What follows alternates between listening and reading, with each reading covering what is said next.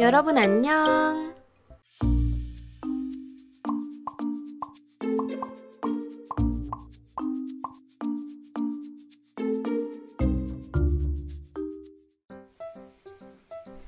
오늘은 너무너무 깜찍한 초코 쿠키 토퍼를 만들어 볼게요.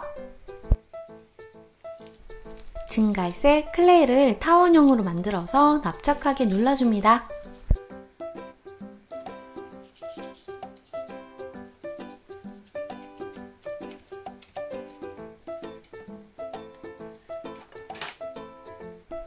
이렇게 칼도구로 눌러서 얼굴과 팔다리의 윤곽을 미리 잡아주세요.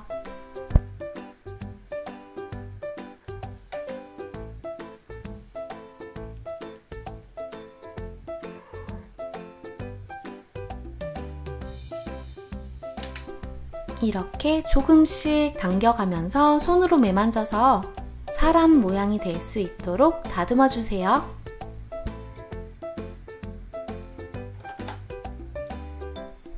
솔도구나 못 쓰는 칫솔을 사용해서 콕콕콕 눌러서 쿠키의 질감을 표현해줍니다.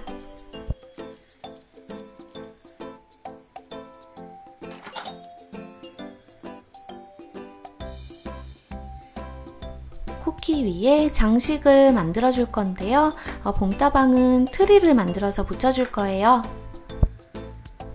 초록색 클레이를 아주 얇게 민 다음에 트리 모양을 송곳도구를 사용해서 스케치해줍니다.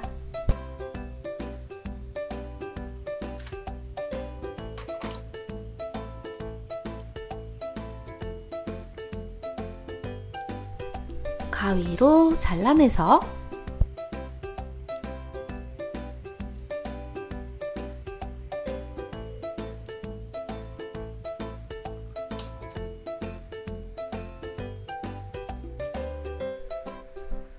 콕 붙여주기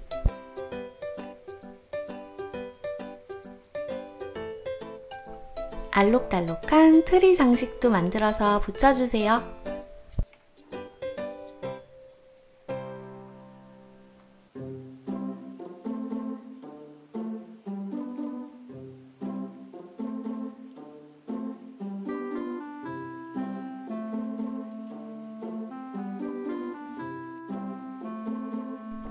코와 눈도 만들어서 붙여줍니다.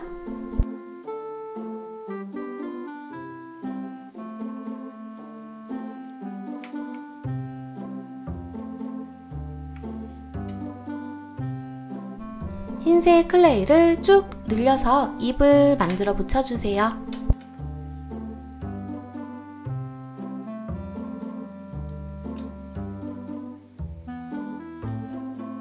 마찬가지로 쭉 늘린 흰색 클레이로 봉지님들이 원하는 문구를 적어주면 됩니다.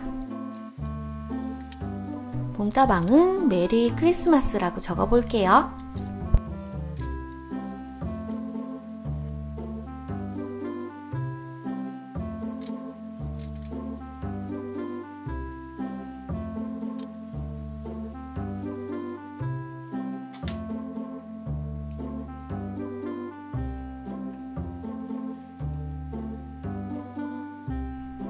너무너무 귀엽죠?